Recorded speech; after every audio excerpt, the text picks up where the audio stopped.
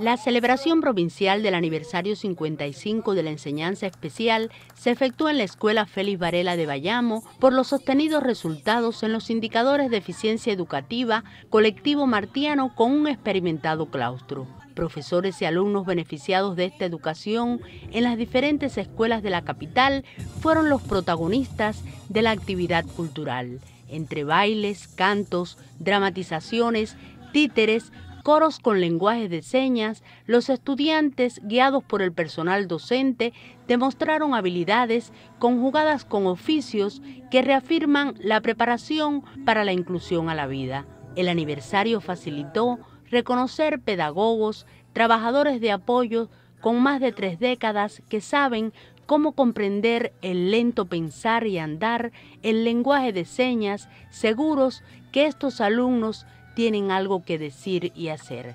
También hubo espacio para el estímulo a organizaciones de discapacitados, organismos y artistas que aportan a esta enseñanza. Esta educación se creó el 4 de enero de 1962 por iniciativa del comandante Fidel y Granma llega el aniversario con 27 escuelas de la enseñanza diseminadas por todo el territorio. Entre sus fortalezas tienen más de 900 maestros que hacen realidad una obra de infinito amor.